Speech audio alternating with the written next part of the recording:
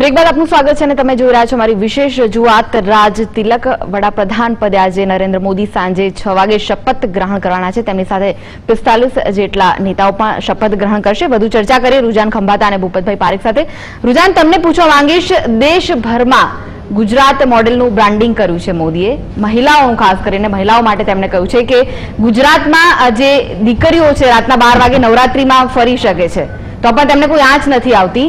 શું બિહાર, યુપી અને દિલ્હીમાં પણ મહિલાઓને આ જ સુરક્ષા મળી શકશે?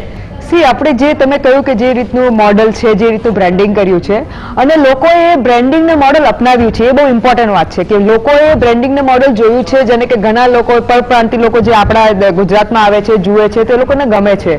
હવે જે આપણા, આપણે આપણે કંઈક તો ઓબ્વિયસલી વી હેવ ટેકન આપણે ગ્રોથને ડેવલપમેન્ટ ગુજરાતમાં થયું છે, એમાં તો કોઈ ડાઉટ જ નથી.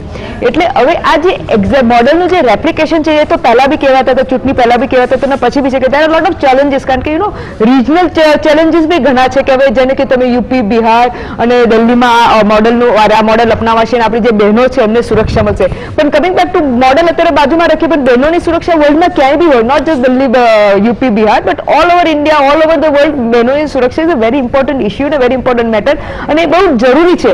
અને એના માટે I don't think so there is anything like model that works the thing that works is will કરવાની શક્તિ. અને એ મોદી સાહેબે એવરી ટાઈમ બતાવી છે કે કરવાની જે શક્તિ છે એ હી ઓલવેઝ શોઝ દેટ એટલે આઈ એમ શ્યોર કે યુપી બિહાર અને દિલ્હી આપણે બીજા બી જે સ્ટેટ છે, એમાં બી આઈ એમ શ્યોર કે આપણી બહેનોની જે સેફટી સિક્યોરિટી કારણ કે સી દેર ઇનફ લોઝ આપણી જ્યુડિશિયરી બી સારું કામ કરે છે લોઝ બી છે, પોલીસ તંત્ર બી જાગૃત થઈ છે સેન્સિટાઇઝ થઈ છે બહેનો માટે.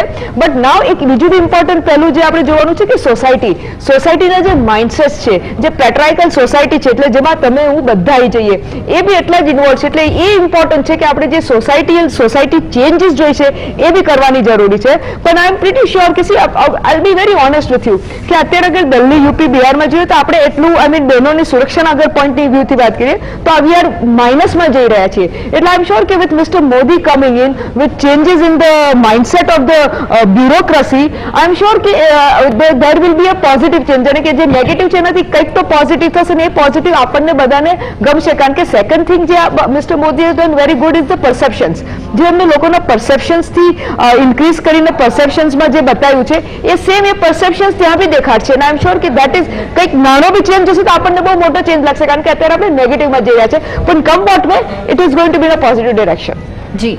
ભૂપતભાઈ આ મહિલાઓની સુરક્ષા માટે કેવા પગલાં ભરાઈ શકે છે અથવા તો ભરાશે? કારણ કે મહિલાઓની ઘણી બધી આશાઓ જોડાયેલી છે. એ વાત સાચી છે કે માત્ર તમે જે મહિલાઓને મહિલાઓ ઘણી આશા રાખી રહ્યા છે એવું જ નથી. પણ આંતરિક સુરક્ષા માટે કે બાહ્ય સુરક્ષા માટે? ખાસ કરીને આંતરિક સુરક્ષા માટે તો ઘણી બધી આશાઓ નવી સરકાર પાસે રાખી રહ્યા છે. ખાસ કરીને મહિલાઓને હોય પણ આંતરિક સુરક્ષા એ પણ બધા આશા રાખી રહ્યા છે. પરંતુ ઘણા બધા એવા પ્રશ્નો છે કે જે ભૂતકાળની સરકાર દસ વર્ષમાં યુપીએની સરકાર રહી, એ યુપીએની સરકારના પહેલા પાંચ વર્ષને જે જે કામગીરી ચાલી હતી, એના કરતાં પાંચ વર્ષની બીજા બીજા પાંચ વર્ષની કામગીરી ઘણી બધી નબળી હતી અને એને કારણે ઘણા બધા ઇસ્યુ ઊભા થયા હતા, પ્રશ્નો ઊભા થયા હતા.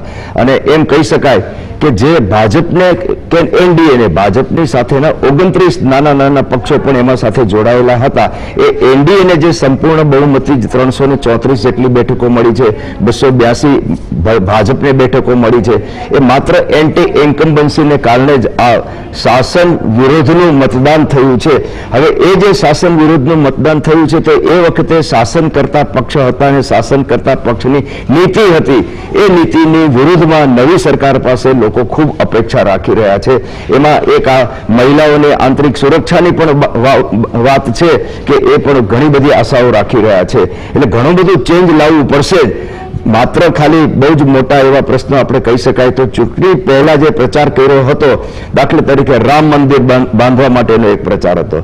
જમ્મુ, કાશ્મીર અને ભારત વચ્ચેની ત્રણસો સિત્તેરમી બંધારણની કલમ છે એ દૂર કરવા માટેની વાત હતી. એવી જ રીતે કોમન સિવિલ કોડની વાત હતી. કાશ્મીરી પંડિતો ઘણા વર્ષોથી નિરાશ્રિત થઈ અને દિલ્હીમાં આવીને બેઠા છે એ કાશ્મીરી પંડિતોની વાત હતી. આવા બધા તો મુખ્ય ઇસ્યુઓ હતા, પરંતુ નાના નાના બીજા સમાજને ઉપયોગી અને દરેક વર્ગને ઉપયોગી ખેડૂતને છે કે મહિલાઓને છે, યુવકોને છે, યુવકોની બેરોજગારીનો પ્રશ્ન છે. આવા બધા જે પ્રશ્નો છે, એ પ્રશ્નો ઉકેલવાની નવ- સરકાર પાસે ખૂબ જ આશા અને આકાંક્ષા રાખી રહ્યા છે. જી.